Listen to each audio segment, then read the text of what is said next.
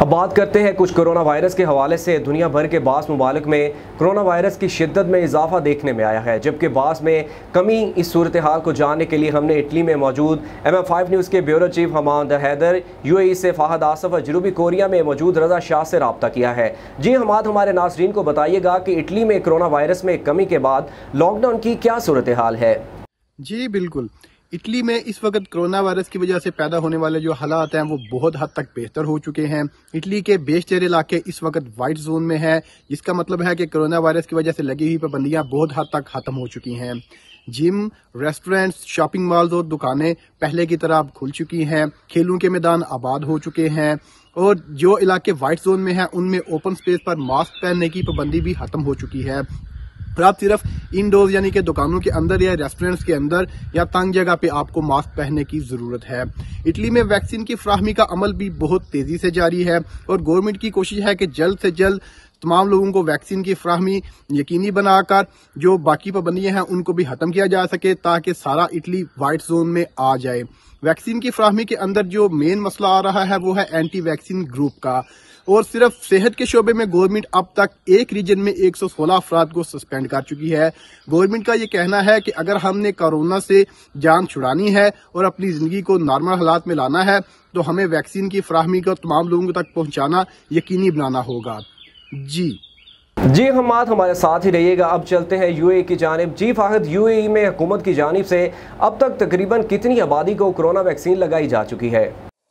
जी, बिल्कुल, दुनिया भर की तरह यहाँ यूएई के अंदर भी कोविड 19 की जो सूरत हाल है, उसको बहुत क्लोजली मॉनिटर किया जा रहा है यहाँ के हुकाम की जानब से। अगर डेली केसेस की बात की जाए तो यूएई के अंदर तकरीबन 2000 के करीब नए कोविड 19 के जो केसेस हैं, वो सामने आ रहे हैं। लेकिन इसके साथ साथ जो तशवीश की बात है, वो ये है कि जो नया वेरियंट है डेल्टा वेरियंट जिसने दुनिया भर में जो है वो तबाही मचाई हुई है, उसके बायस भी जो है, अमवात की तादाद में जो है वो इजाफा देखने में आ रहा है, लेकिन इसके साथ साथ जो टेस्टिंग का सिलसिला है, वो बड़ी तेज़ी के साथ जारी है और जो वैक्सीनेशन रोल आउट है यू का शुमार दुनिया के सफ़े अव्वल के उन ममालिक में होता है, जहाँ पर आबादी का एक बहुत बड़ा जो हिस्सा है, उसको कोविड नाइन्टीन की वैक्सीन जो है, वो फराम कर दी गई है, जो एक खुश आइन जो है, वो अमर है। इसके साथ आपको बताएँ कि अबू धाबी की जानब से ये रेगुलेशन सामने आई हैं कि अगस्त के बाद सिर्फ़ वो अफराद जो कोविड 19 की वैक्सीनेशन हासिल कर चुके हैं, सिर्फ़ उन्हीं को इजाज़त होगी कि मुख्तलिफ़ पब्लिक मकाम पर जो है वो जा सकें, जिनमें मॉल्स शॉपिंग सेंटर्स जिम्स वगैरह जो हैं, दीगर मकाम शामिल हैं।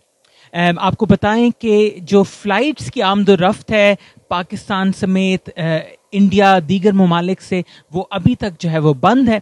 जिसके अंदर हमने देखा है कि जो ज़ाहिर है जो नए वेरिएशंस आ रहे हैं वेरिएंट्स आ रहे हैं, उनसे बचाव के लिए जो है यहाँ पर फ़्लाइट्स जो हैं वो काफ़ी ज़्यादा रिस्ट्रिक्टेड रही हैं और पाकिस्तान से अभी भी जो फ़्लाइट्स हैं वो बंद हैं यूएई के लिए। यहाँ के हुकाम का ये कहना था, ये रीटरेट किया उन्होंने कि कोविड नाइन्टीन जो है, वो अभी भी मौजूद है लोगों को जो एस ओ पीज़ हैं, समाजी फासला है डिफरेंट जो रेगुलेशंस हैं, उन पर जो अमल है, वो यकीनी बनाना पड़ेगा ताकि मिल के जो है as a community as a society covid nineteen से बचा जा सके और साथ साथ जो कारोबारी ज़िंदगी है, जो मामूलत ज़िंदगी हैं, उनको भी जो है आगे बढ़ाया जा सके। जी।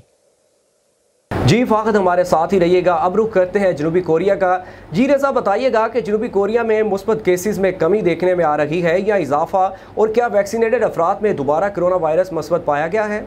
जी, अभी तक कोरिया में 15 मिलियन अफराद, जो कि आबादी का 30 फ़ीसद बनते हैं, ने एक, जबकि चार इशारिया छः मिलियन, जो कुल आबादी का नौ फ़ीसद बनते हैं, ने मुकम्मल तौर पर कोरोना की हिफाजती वैक्सीन लगवा ली है। हुकूमत ने कई दफ़ा मुस्बत केस कम होने पर एहतियाती अहकाम में कमी करने का इशारा दिया, लेकिन मुस्बत केसों में इजाफे की वजह से तकरीबन हर मरतबा हुकूमत को या तो प्रोग्राम तब्दील करना पड़ता है या अहकाम मज़ीद सख्त करना पड़ते हैं। दारकूमत सोल और उसके गिरदो नवा में कोरोना के मुस्बत केसों में इजाफा देखा जा रहा है और कुछ ऐसे केस भी सामने आए हैं जिन्होंने मुकम्मल तौर पर आस्ट्राजेनिका फाइज़र और जैनसन का कोर्स मुकम्मल करवा लिया था, लेकिन उनमें दोबारा कोरोना के मुस्बत असरात पाए गए हैं।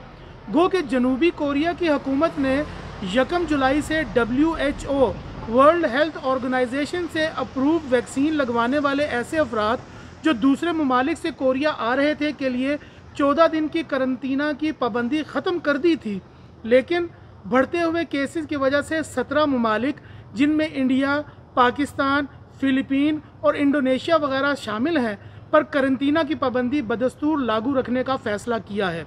जी। बहुत शुक्रिया, हमाद हैदर इटली से, फ़ाहद आसफ यूएई से और रज़ा शाह जनूबी कोरिया से। हमारे नाजीन को दुनिया के मुख्तलि ममालिक की मौजूदा सूरत हाल से आगाह करने के लिए